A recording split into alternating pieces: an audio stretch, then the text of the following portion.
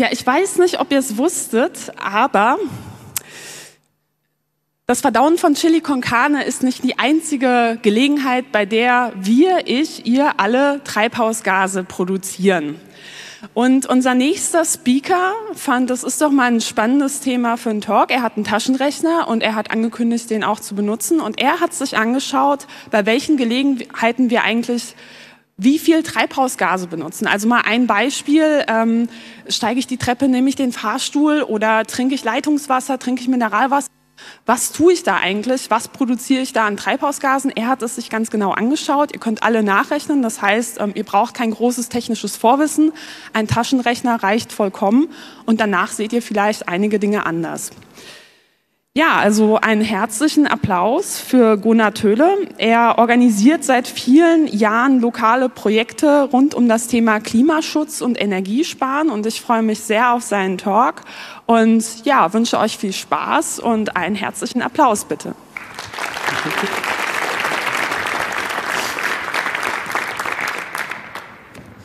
Ja, hallo. Treibhausgasemissionen einschätzen. Ähm, wieso einschätzen? Das mit den genauen Berechnungen, das können ja andere viel besser. Da waren hier heute schon Wissenschaftler. Das fing an bei methodisch inkorrekt und eben gab es auch schon Klimaschutz zum Rechnen. Das ist aber für den Alltag viel zu schwierig. Ähm, was soll das Ganze? Wir alle als Menschen treffen jeden Tag Entscheidungen, Hunderte, Tausende. Viele davon sind Konsumentscheidungen. Und äh, dafür gibt es häufig ein paar verschiedene Kriterien. Das geht los mit Euros. Früher war das mal so, da, haben, da hat der Preis eines Produkts oder einer Dienstleistung so ein bisschen signalisiert, wie mühsam das ist, das Produkt herzustellen, wie viele Rohstoffe man dafür braucht, ob die von weiter her wegkommen. Heute ist das nicht mehr so. Heute kostet ein Produkt genauso viel, wie du zu zahlen bereit bist. Mal bei Ryanair fragen, wie viel denn der Sitznachbar für den Flug bezahlt hat. Das hat doch irgendwie mit dem Herstellungsaufwand nichts mehr zu tun.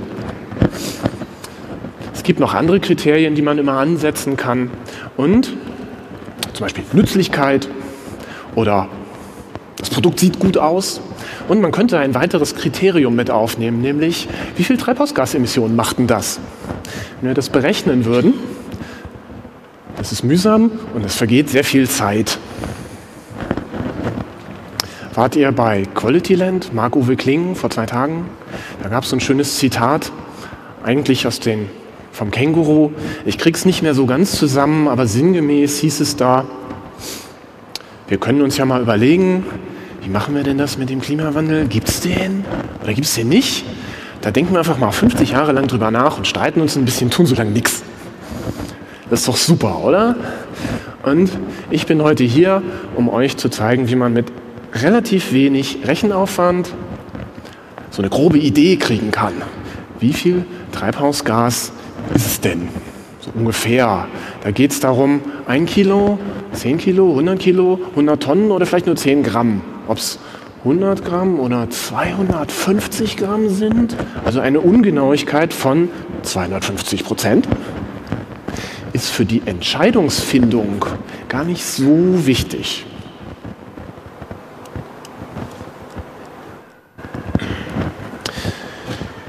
Vorweg, was ist denn das hier mit diesen Luftballons?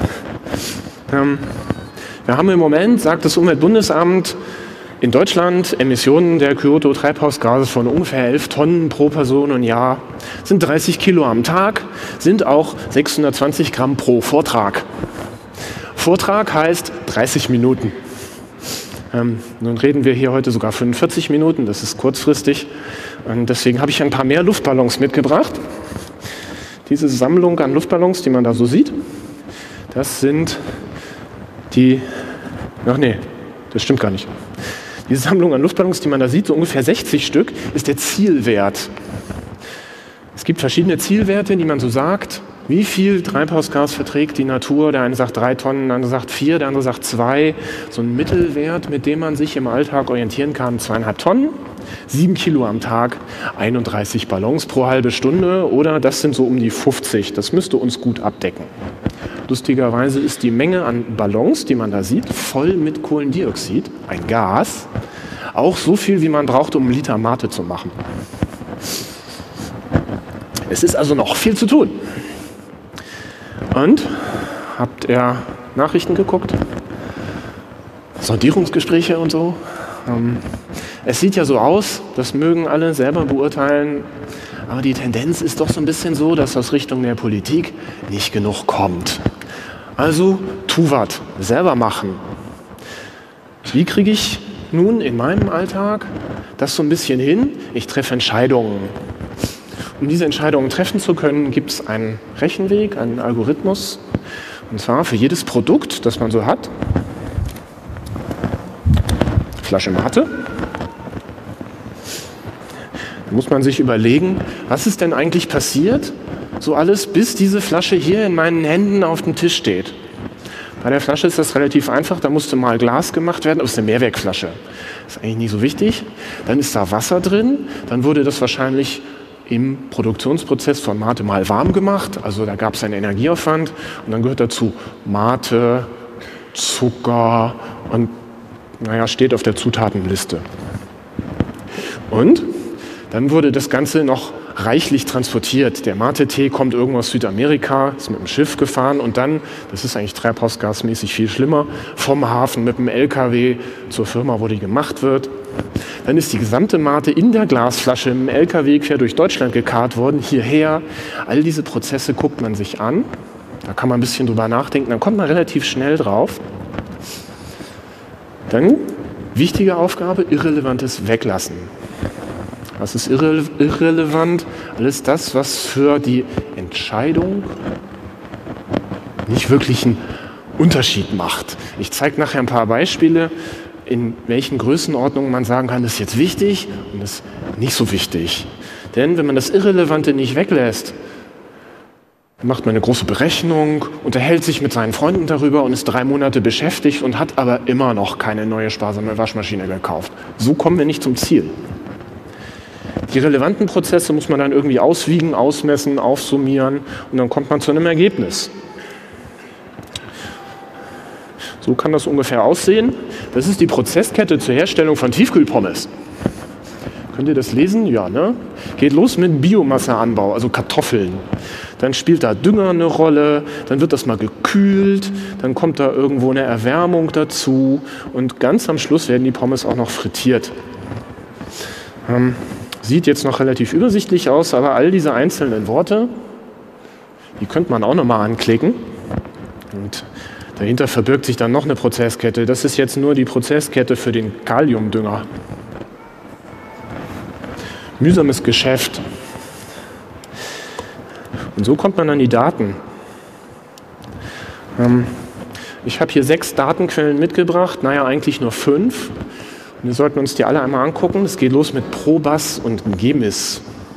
Probas ist eine Internetseite und GEMIS ist ein installierbares Programm. Also so ein richtiges, runterladbares Windows ausführbares Programm. So wie früher. Offline, ohne Internet. Ähm, in beiden ist eine große Datenbasis von so ungefähr 10.000 verschiedenen Prozessen. Da stecken schon eine ganze Menge an Alltagsdingen drin. Das geht von Kartoffeln über Pkw fahren und Flugzeug fliegen bis hin zur Heizung und Stromproduktion. Gucken wir uns gleich an. Ich habe für GEMIS noch ein Beispiel. Dann gibt es einen guter Tag. Das ist eine Internetseite, die hat extra als Ziel, besonders einfach zu sein. Da steckt ein Katalog von alltäglichen Dingen drin, Flasche Milch, Heizung einer Wohnung für einen Tag mit Punkten. Warum jetzt Punkte und nicht Gramm oder Kilogramm? Weil der verträgliche Wert in diesem Punktesystem, das diese Datenquelle vorschlägt, ist 100 Punkte am Tag. Das kann man sich gut merken und da kommst du im Alltag einfach mit zurecht. Dann gibt es Environmental Product Declarations. Das kommt so aus dem Umweltmanagement, sind in der Regel PDF-Dateien voll mit Informationen über Produkte. gerne komplizierte Produkte, zum Beispiel Bahnfahrer kennen den neuen Zug der Bahn Talent 2. Ähm, für den gibt es vom Hersteller von Bombardier eine schöne Dokumentation, in der drin steht, wie viel Kilogramm Kupfer sind da drin und wie viel Strom braucht denn der eigentlich. Besonders gut für Bauprodukte, Hausbau und ähnliches gibt es Ökobaudat vom Staat bezahlt, ganz viele solche Produktdeklarationen. Ähm, für solche Ökobilanzen gibt es dann noch eine ganze Reihe an professionellen Werkzeugen, gerne aus der Schweiz. Da sage ich einfach mal, die sind für unsere Anwendung, Alltagsentscheidungen treffen in fünf Minuten, zu kompliziert und zu teuer. Machen wir halt nicht. Und Physiker anwesend, bestimmt, oder Chemiker, man kann ja auch berechnen. Wo kommt denn das eigentliche Kohlenstoffatom her, das jetzt in dem CO2 ist? Das ist auch relativ mühsam. Hat im Alltag auch nicht so wirklich, funktioniert nicht so gut, mit zwei Ausnahmen. Ähm, wenn irgendwo in irgendeinen Prozess, zum Beispiel mit dem Auto zum Kongress fahren, ein Liter Diesel reingeht, dann kommen hinten immer 2,33 Kilogramm Kohlendioxid raus. Das ist halt so. Jetzt wollen wir mal gucken. So sieht das aus.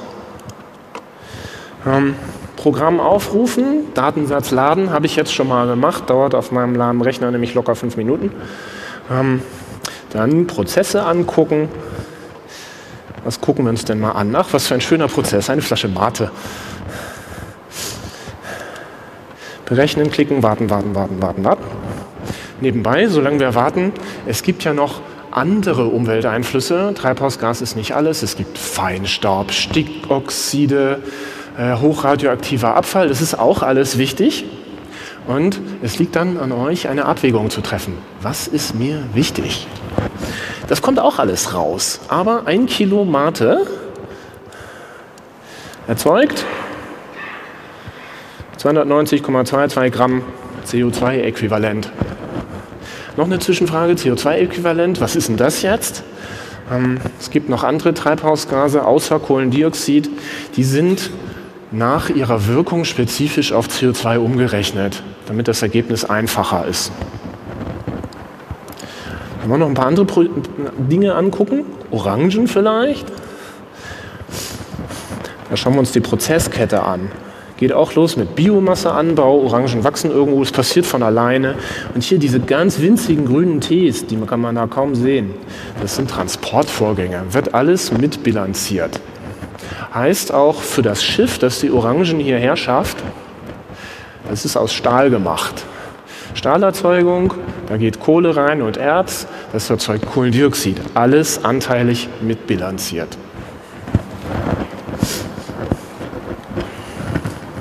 Wollt ihr noch einen Prozess angucken?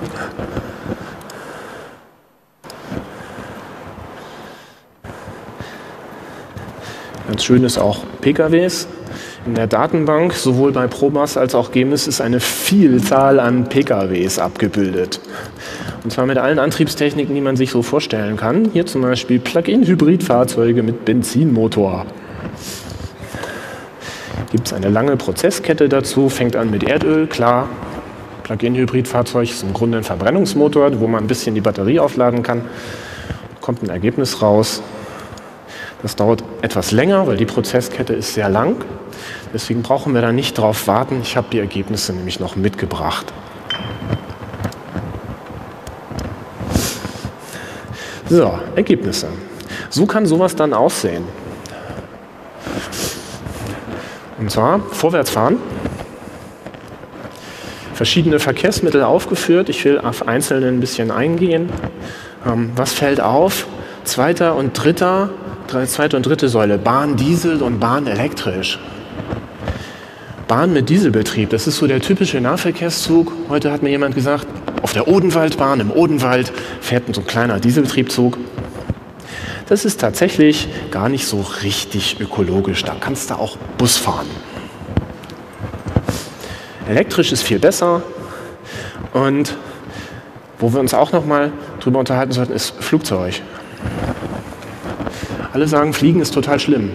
Warum denn? Fliegen ist doch wie Autofahren.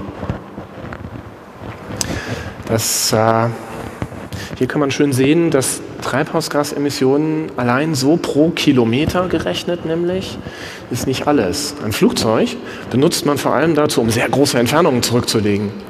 Wenn man das stattdessen mit dem Auto tun würde, ist das genauso schlimm. Das Flugzeug erzeugt auch diverse andere Abgase und das auch noch in der Atmosphäre. Ist hier jetzt nicht aufgeführt. Aber insgesamt der Spritverbrauch, wenn man in einem Flugzeug fliegt, pro Person, nicht für das ganze Flugzeug, der liegt so ungefähr auf dem Niveau von Autofahren. Und dann sollten wir uns auch noch diesen angucken. Elektroautos. Wer so in letzter Zeit die Medien verfolgt hat, Elektroautofahren löst gar keine Probleme. Elektroautofahren mit Kohlestrom bringt doch nichts. Doch, bringt was. Nicht so viel, aber es bringt ein bisschen was. Wer jetzt sein Elektroautos, stehen ja einige auf dem Kongress rum inzwischen, ähm, mit Ökostrom betreiben würde, dann sähe das natürlich nochmal anders aus, denn dieser Mixstrom, der da genannt ist, Mixstrom, das bezeichnet durchschnittlichen Strom aus dem deutschen Stromnetz. Und als letztes Verkehrsmittel Fahrradfahren. Warum ist denn das nicht null? Ähm, ist auch relativ einfach. Wenn man Chili con Carne isst, dann ist das erneuerbare Energie, denn das sind ja Pflanzen. Pflanzen wachsen nach. Das Fahrrad selber ist aber nicht aus erneuerbarer Energie gemacht, sondern aus Stahl oder aus Aluminium.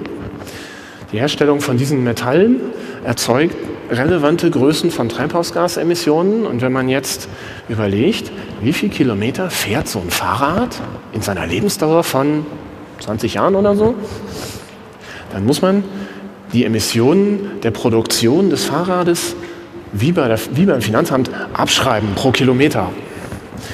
In den Datenbanken Probas und Gemis sind typische durchschnittliche Lebensdauern und auch Kilometer pro Jahr hinterlegt. Und dann kommt raus, Fahrradfahren ist nicht null.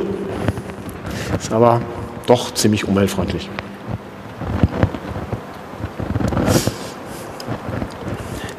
Nächstes Ergebnis, vielleicht auch ein bisschen interessant. Ähm, nachdem wir uns vorwärts bewegt haben, wir können ja auch mal hochgehen. Ich habe in der Ankündigung des Vortrags versprochen, keine Formeln. Ähm, tut mir leid, eine Formel ist doch dabei. Ähm, mal links angefangen, Aufzug fahren. Was muss, man, was muss so ein Aufzug tun, um einen Meter in die Höhe zu fahren? Er muss Fahrgast bewegen. Fahrgast wiegt durchschnittlich 80 Kilogramm. Er muss die Aufzugkabine bewegen. Eine Aufzugkabine wiegt 330 Kilogramm. Wo habe ich diese Zahl her? Man kann von Aufzügen Environmental Product Declarations, also EPDs, googeln. Da steht das einfach drin. Diese gesamte Masse von 410 Kilogramm muss einen Meter in die Höhe geschafft werden. Das ist potenzielle Energie und das haben wir im Physikunterricht gelernt. Da kommt raus, braucht man 4, 4022 Joule oder 0,0011 Kilowattstunden elektrischen Strom. Was habe ich in dieser Rechnung vollkommen unterschlagen? Den Wirkungsgrad, die Beleuchtung der Aufzugkabine, alles nicht dabei. Warum? Der Wirkungsgrad von einem Elektromotor, der wird irgendwo so bei 90 Prozent sein. Diesen Fehler von 10% in dieser Berechnung, finde ich, den kann man einfach für eine Alltagsentscheidung kann man das einfach machen. Weil, wie man schon am Ergebnis sieht, der Unterschied zwischen Treppe hochgehen und Aufzug fahren ist größer als 10% Ich treffe also auch mit fehlerhaften Berechnungen die richtige Entscheidung. Jetzt hängt es noch davon ab, Fährt der Aufzug mit Ökostrom oder mit normalem Mixstrom? Naja, es sind auf jeden Fall irgendwie so 0,6 Gramm. Gehe ich die Treppe hoch, ähnliche Rechnung, bloß muss keine Aufzugskabine mit in die Treppe hochgehen, kann ich alleine, also 80 Kilo hoch, macht 785 Joule Energieaufwand. Hier kommt jetzt ein Wirkungsgrad vor. Warum?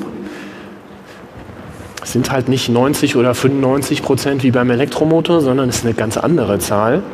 Ähm, verschiedene Experten streiten sich. Einer sagt, Wirkungsgrad von Menschen ist irgendwie bei 5 Prozent oder bei 30 Prozent oder so. Ich habe einfach einen Mittelwert gebildet aus den Zahlen, die ich gefunden habe, kommt 15 Prozent raus. Also muss ich, um einen Meter die Treppe hochzugehen, 5233 Joule essen. Das sind 2 Gramm Salzkartoffeln oder 0,75 Gramm Rindfleisch. Und so sieht das aus. Ähm, hier links ist die Version für Rindfleischesser. Wenn man die 18 Gramm Kohlendioxid in Luftballons abfüllt aus einer Gasflasche, das habe ich heute genauso gemacht, dann kommt da so ein Bündel Luftballons raus. Hier rechts ist die Version für Kartoffelesser. Und wer findet die Version für Aufzugfahrer? Die klebt hier in so einem ganz schlaffen kleinen Luftballon an der Seite.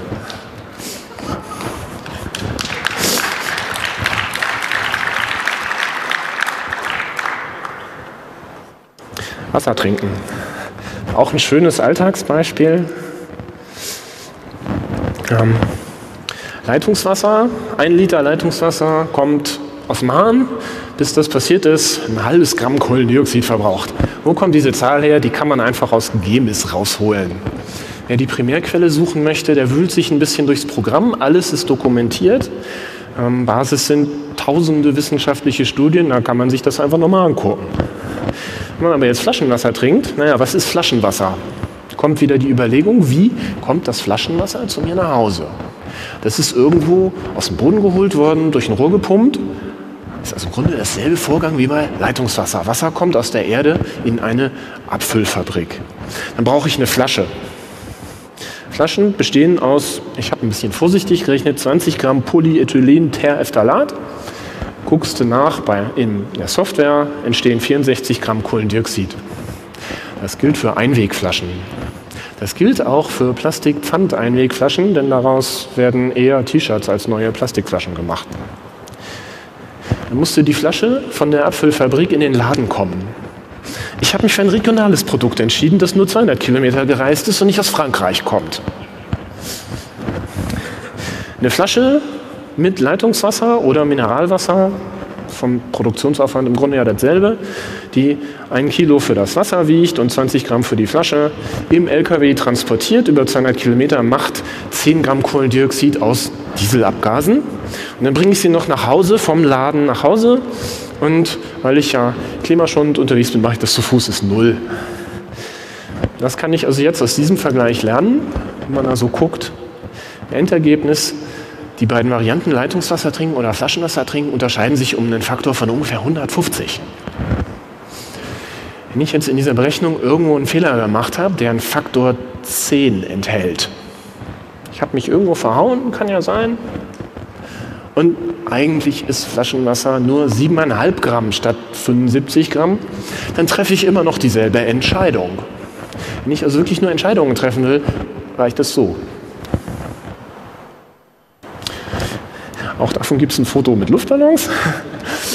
ähm, die Gefäßgröße hier, die hier abgebildet ist, äh, ist nicht ein Liter, das weiß ich, aber die Größe an Luftballons, die man da so sieht, die entspricht jeweils einem Liter Wasser in Flaschen oder in Leitungswasser. Ähm, ihr habt ja auch die einmalige Chance, einen Blick in die gastronomische Versorgung des Speakers Room zu werfen. Da gibt es diese wunderschönen Schneemannbecher. Letzten Sommer wurde diese Sau durchs Internet getrieben. Schwedische Studie rechnet vor, CO2-Bilanz eines Elektroautos ist ein Desaster. Die Studie habe ich mir angeguckt, die ist richtig. Die CO2-Bilanz dieses Elektroautos in den Annahmen, die in der Studie getroffen wurden, ist ein Desaster. Was tut diese Meldung wenn die so in der Öffentlichkeit verbreitet wird, das ist jetzt nur beim Fokus, das war ja auch bei Heise und bei zig anderen Medien, ja klar, lass uns doch weiter mit dem Benziner fahren, die nächsten 50 Jahre, anstatt irgendwas in unserem Alltag zu ändern. Ich habe mir stattdessen diese Studie mal reingezogen. Das könnt ihr auch. Sie liegt im, ja, hier in diesem Vortragsverwaltungssystem, habe ich sie verlinkt. Und da ist sehr schön aufgeführt, das Elektroauto, das man in Schweden am häufigsten fährt, scheint ein Tesla zu sein. Der Tesla zeichnet sich dadurch aus, dass er eine sehr, sehr große Batterie hat. Und was ist am Elektroauto herstellen? Das Schlimme, genau, die Batterie. Wie wird eine Batterie hergestellt? Habe ich mir auch angeguckt. Batterieherstellung hat vom Energieaufwand die Hälfte des, der CO2-Emissionen der Batterieherstellung sind Strom. Es ist also plötzlich relevant, wo diese Batterie gemacht wird, mit welchem Strom. Dieses Fazit steht auch tatsächlich in der Primärquelle so und es gibt diese schöne Tabelle. Es gibt einen Referenzwert, Ellingsen, das ist ein Durchschnitt verschiedener Studien, die dort verglichen wurden, der ist als 100 Prozent angesetzt. Wenn ich jetzt dieselbe Batterie aber in Schweden herstelle, Schweden, Vattenfall, ja, ist der örtliche Stromversorger, Vattenfall heißt auf Deutsch, ja klar, Wasserkraft. Wasserkraft ist sehr ökologisch, da kann ich dieselbe Batterie für nur ein 0,07 der Kohlendioxidemissionen herstellen. Das ist doch schon mal ein Wort.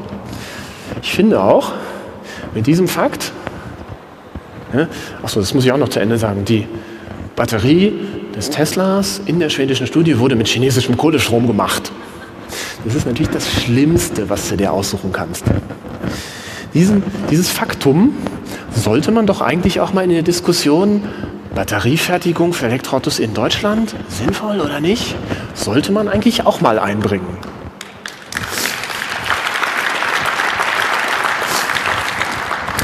Davon gibt es kein, kein Foto mit Luftballons. Das wären irgendwie Millionen gewesen und dank meiner furchtbaren Erkältung kriege ich das heute nicht hin.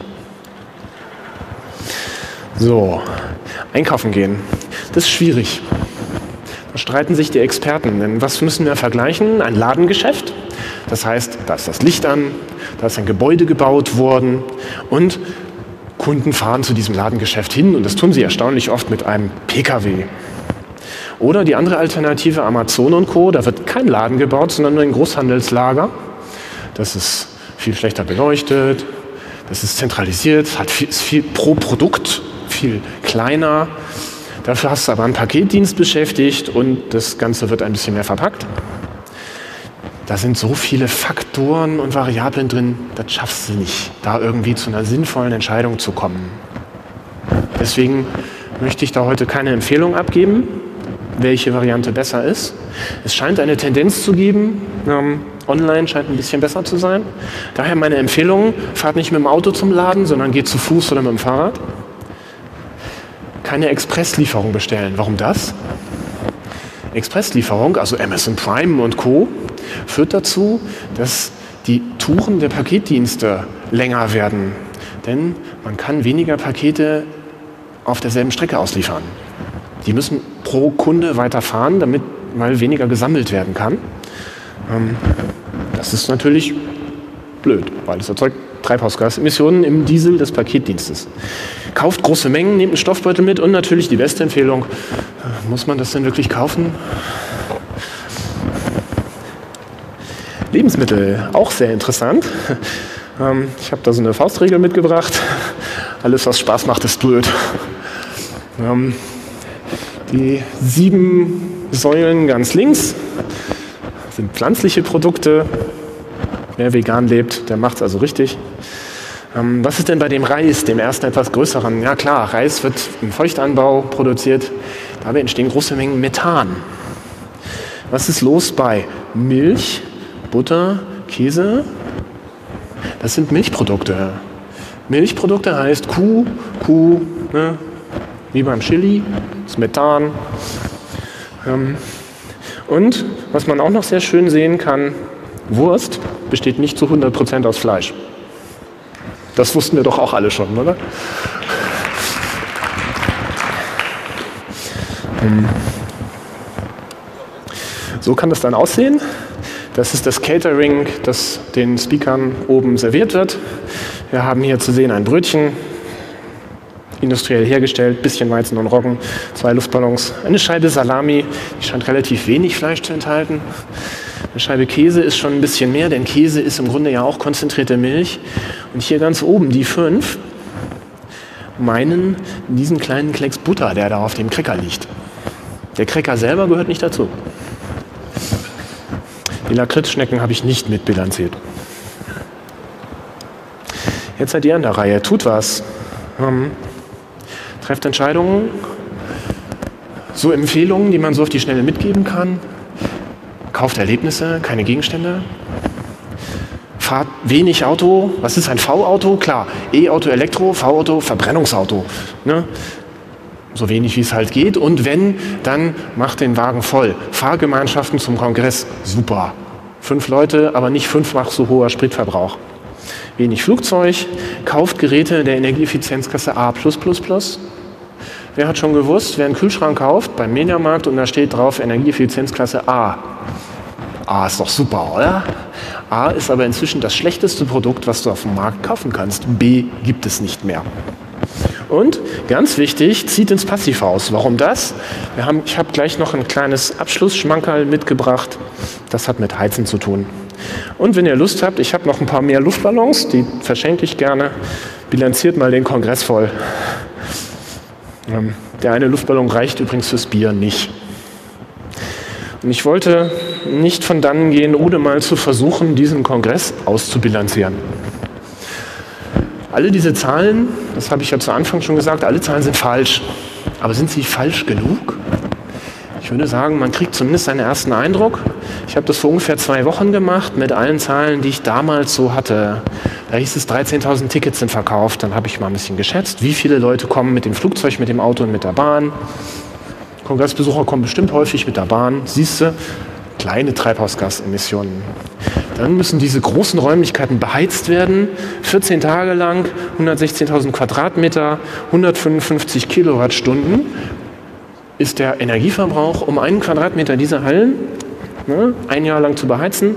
Ich habe mal vermutet, dass das Ganze mit Erdgas passiert, 220 Gramm pro Kilowattstunde. Kommt 153 Tonnen CO2 raus, nur um es hier warm zu machen.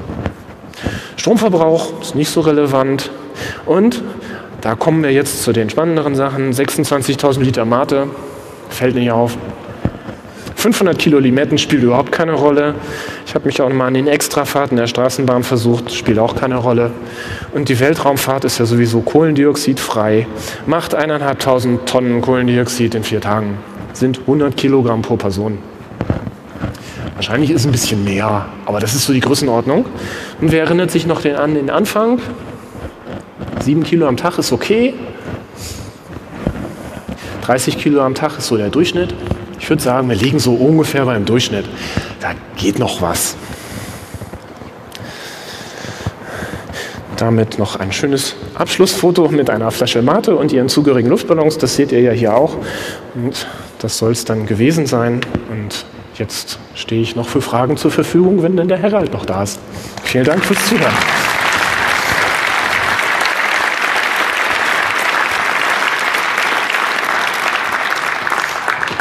Ja, vielen Dank, Gunnar. Also wenn mir jemand nochmal Faulheit vorwirft, ähm, weil ich Treppen steige, also wenn, weil, weil ich einen Aufzug nehme und nicht die Treppe, dann weiß ich, was für ein Argument ich jetzt vorbringen werde.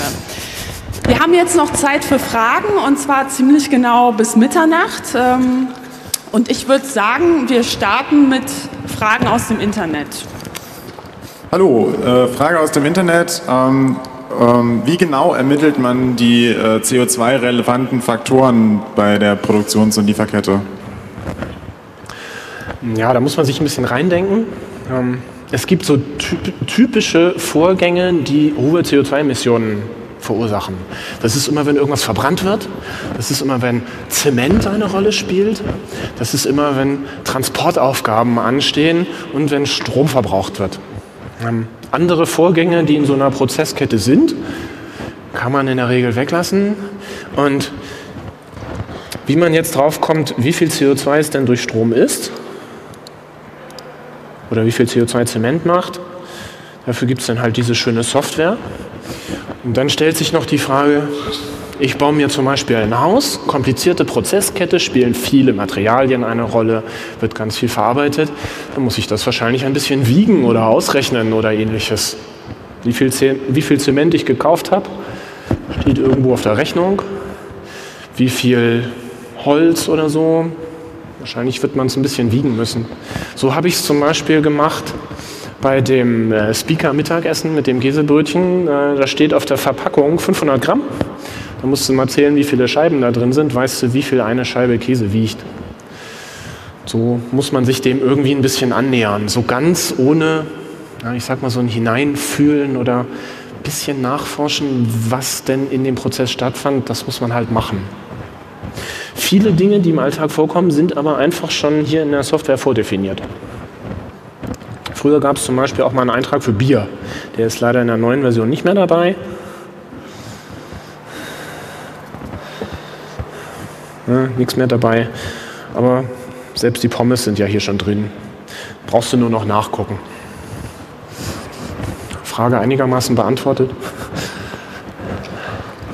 Ja, dann würde ich vorschlagen, wir machen weiter mit der 1. Deine Frage.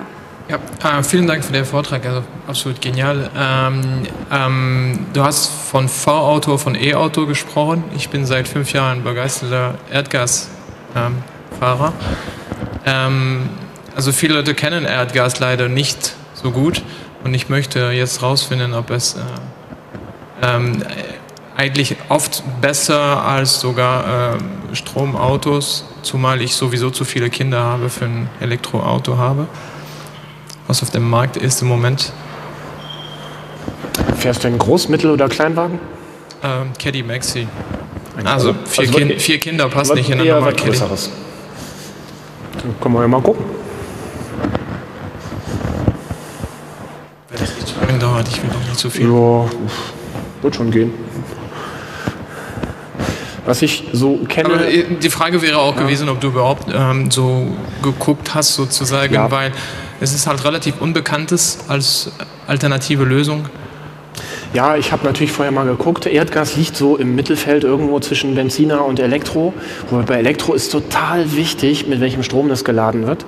Ne, hier Ergebnis: Erdgasauto groß. Ich meine, bei Erdgas auch. Das fängt damit an, woher dein Erdgas kommt. Ja, diese Berechnung ist jetzt mit fossilem Erdgas, 300 Gramm pro Kilometer. Ist nicht so geil. Ja, was, weil es Ähm, aber wie wär's mit- konventionelle Erdgas ist. Wie wär's mit Bioerdgas? Genau. Ja, einen großen Auto, großen Wagen nehmen, ne? Ja, finde ich auf die Schnelle nicht. Nimm einen Mittelwagen. Naja, egal, okay. Wollte ich nur ähm, anregen, vielleicht äh, als Alternativ gucken. Für manche Leute ist es tatsächlich eine Alternativ, äh, noch eine Alternativ zu E-Auto. Danke. Vielen Dank für deine Frage. Die nächste Frage kommt von Nummer 5. Jens. Oh, ja, danke für den Vortrag. Ähm, auf deiner Ergebnisliste waren auch Pommes zu sehen und die waren relativ tief. Äh, ich wollte nur fragen, sind das tief, Tiefkühlpommes oder sind das für... Das war ein Tiefkühlpommes. Okay, okay. Hier jetzt Zwischenergebnis: äh, Erdgasauto mit Biogas betrieben. Äh, ne? Nur die Hälfte. Das ist doch schon mal ein echter Fortschritt. So, dann haben wir noch eine Frage von Nummer 1. Hallo, vielen Dank für deinen Vortrag, fand ich toll. Ich bin begeisterte Elektrofahrerin und ähm, mache das jetzt seit anderthalb Jahren.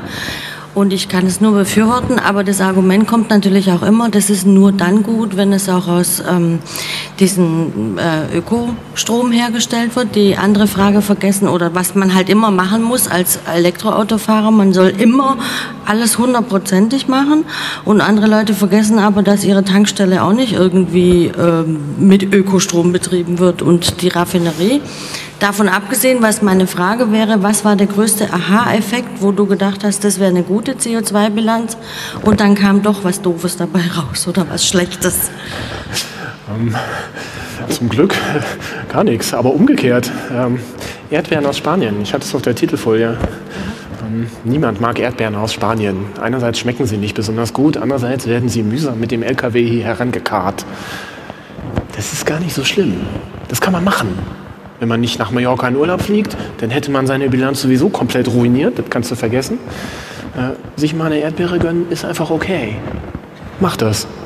Also eher andersrum, als jetzt, So. dass du was entdeckt hättest. Also ähm, ich muss leider jetzt jemand anderen dran nehmen. Ähm, vielen Dank für deine Frage. Dann hätten wir wieder eine Frage aus dem Internet. Die Frage ist, wie kann man die vorgestellte Methode zur Entscheidungsfindung noch weiter vereinfachen, um sie wirklich alltagstauglich zu machen? Dafür empfehle ich den Katalog von eingutertag.org. Der funktioniert auf dem Smartphone und ist echt simpel. Man muss sich darauf verlassen, was die ausgerechnet haben, aber es ist echt einfach. 100 Punkte am Tag kriegt man irgendwie im Kopf zusammengezählt, passt. Dann haben wir noch eine Frage von Nummer 5. Danke für den Vortrag. Ähm, du hast gesagt, äh, wir sollen in Passivhäuser ziehen. Ist das nicht gerade auch ein kontroverses Thema? Weil ich kenne da aus Wiesbaden ein Beispiel, da hat eine Wohnbaugesellschaft zwei identische Mehrfamilienhäuser gebaut, ein normales, ein Passivhaus und die Energiekosten im Passivhaus waren im Endeffekt durch Belüftung und ähnliches sogar noch höher als in dem ähm, konventionellen Haus. Äh, ja, ja, das ist kontrovers. Ich kenne ähnliche Fälle. Ähm, ich selber wohne in einem KfW-Effizienzhaus 55. Ich habe bis heute nicht die Heizung angemacht. Da sind die Energiekosten null, außer fürs Duschen warm. Das gibt es schon auch. Was da in diesem Wiesbaden-Haus vorgefallen ist, würde mich interessieren. Kann ich so ad hoc. Ähm, die Erfahrungen von Passiv- und Effizienzhausbewohnern, die ich so kenne, sind in der Regel überragend positiv. Ähm, man muss dann noch bedenken, um so ein Haus zu bauen, da musst du mehr Dämmstoff einsetzen und mehr andere Sachen machen. Der muss auch alles hergestellt werden. Da kommen wir jetzt dann in so Bereiche zur, ja, zum, zum Erntefaktor. Das heißt, nach welcher Zeit hat die Energieeinsparung, die ich mit dem zusätzlichen Dämmstoff erzeugt habe, also ne, wann habe ich damit den Herstellungsaufwand für den Dämmstoff wieder rein? Das sind üblicherweise so Monate, da sage ich, ja, ich wohne länger als ein paar Monate in meinem Haus, ist schon okay. Kannst du halt machen. Eine Frage von Nummer 6. Ähm, ich würde gerne wissen, warum du äh, bei dem Aufzug äh, und äh, Treppensteigen den äh, CO2-Ausstoß des Menschen berücksichtigt hast, aber zum Beispiel bei dem Supermarkt-Einkaufen äh, gesagt hast, wenn man zu Fuß geht, ist es null. Ja, das ist richtig und das habe ich auch falsch gemacht. Das war ja auch ein lehrreiches Beispiel sozusagen. Ähm, die Kartoffeln, die beim Treppesteigen benutzt werden, die sind ja regenerative Energie. Das ist eigentlich null. Ähm, was noch eingeht, ist, das kann man sich auch in der Software ein bisschen angucken, Kartoffeln sind tatsächlich nicht ganz null, denn da spielt irgendwo ein Trecker eine Rolle, der wird mit Diesel betrieben. Aber ja, hast recht. Dann haben wir noch eine Frage aus dem Internet. Warum ist GMIS nur als Binary für Windows erhältlich und gibt es Ansätze, da irgendwie eine Ersatzsoftware irgendwie frei zu entwickeln, für die Daten auszuwerten? Ähm, warum es nur als Windows Binary erhältlich ist, weiß ich nicht. Das müssten wir die Programmierer fragen. Mir sind keine Ansätze bekannt, Alternativen zu entwickeln. Aber wie ihr seht, betreibe ich hier eine Maschine, die läuft mit Android. Geht scheinbar auch. Und äh, GMS läuft auch ganz gut unter Wein. Es wäre Zeit für eine freie Software-Alternative, finde ich. Ja, ich kann das nicht, ich bin kein Programmierer. Tuvat, sage ich dann nur, Tuvat. Eine Frage von Nummer 5. Ganz kurze Frage. Da war dieses Balkendiagramm mit den Lebensmitteln. Ähm, auf was war das gerechnet? Ich, vielleicht stand es an der Seite dran. Alles pro Kilo pro Kilo. Ja. ja. Man muss da noch natürlich mit reingucken, wenn ich ein Kilo Brot esse oder wenn ich ein Kilo Rindfleisch esse, dann habe ich nicht nur einen unterschiedlich hohen Genuss, sondern auch eine unterschiedlich hohe Energiemenge. Das ist natürlich eigentlich auch wichtig. Vielen Dank. Eine Frage von Nummer 7. Sieben?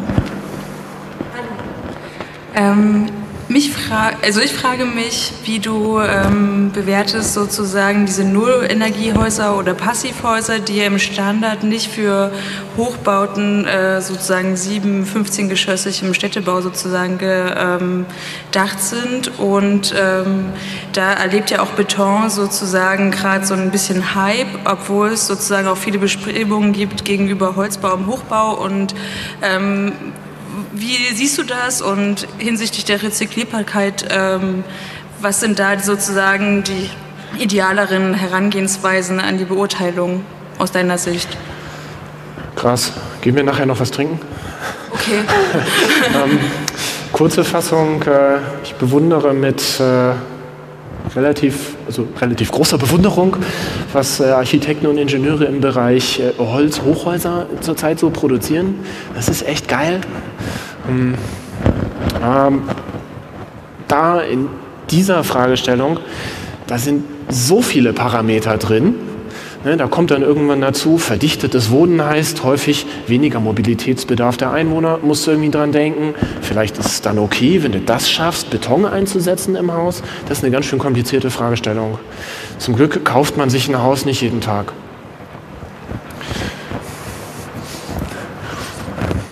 Deine Frage Nummer eins. Ich möchte auch nochmal gerade auf das Beispiel mit dem Aufzugfahren zurückkommen.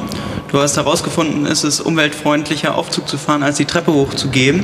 Ist dahingehend dein Tipp an uns eigentlich auch, macht keinen Sport, damit ihr weniger essen müsst, weil das umweltfreundlicher ist?